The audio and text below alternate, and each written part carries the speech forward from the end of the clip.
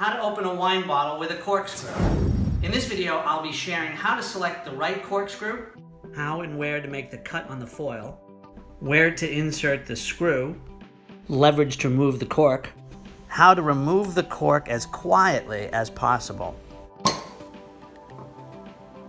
I've created a simple step-by-step -step diagram for free and will tell you how to get it at the end of the video. Step one, selecting the right corkscrew. This is a double hinge corkscrew, and so is this. Based on the waiter's friend corkscrew patented in 1883 by German inventor Carl F.A. Wienke. It has a blade, or a knife, a fulcrum, and a screw, and a bottle opener for other beverages.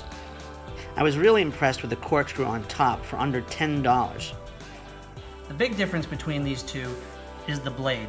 You can see here, this one has a much larger blade than this one, tighter, finer serrated edge, and it's also curved a little bit in the shape of the bottle. Also, the fulcrum here is completely more sturdier and stable than this one. It actually moves up, where this one really doesn't. And look at this screw on here. This actually has grooves right in the screw, which aids in gripping the cork, where the other one is just smooth. I got both of these corkscrews on Amazon, and the links for them are down below the description section.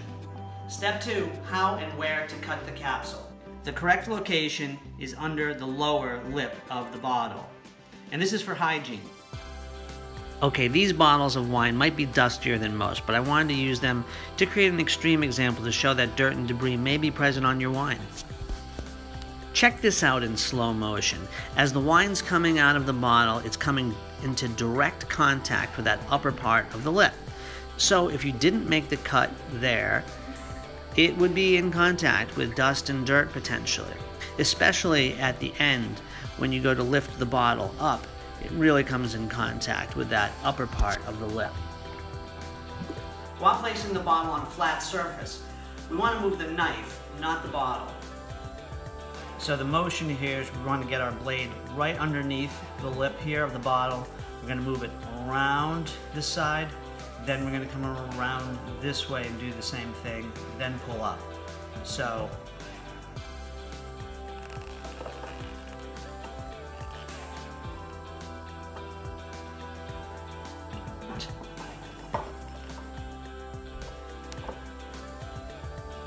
And with our blade, we want to kind of get it underneath the foil, moving it right up top. Then the cap should just come right off. And you get a nice even line right here and back. On a side note, if you don't want to be so formal and you're with family and friends or just alone, you can always just twist and pull the capsule right off. Screw it. Number three, where to insert the screw. We want to insert the screw right in the middle of the cork. Turning clockwise until you get to the last rung of the screw. Number four, how to use leverage to remove the cork. Now we're going to move the top part of the fulcrum onto the side of the bottle and we're going to pull up, not all the way, then we're gonna take the second half of the fulcrum right down the bottom and pull almost till we get out. Step five, removing the cork as quietly as possible. We almost have this cork out and just before we do that, we're going to gently move it to the side and you hear a little whisper. As I mentioned in the beginning, I created a step-by-step -step diagram, and that can be found in the description section below.